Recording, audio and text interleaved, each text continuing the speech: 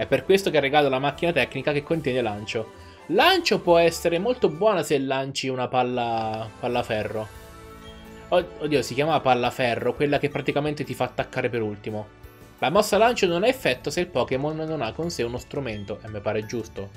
Che si la lancia... Beh no, in teoria un Infernape, essendo una scimmia, potrebbe lanciare la sua cacca. È lore.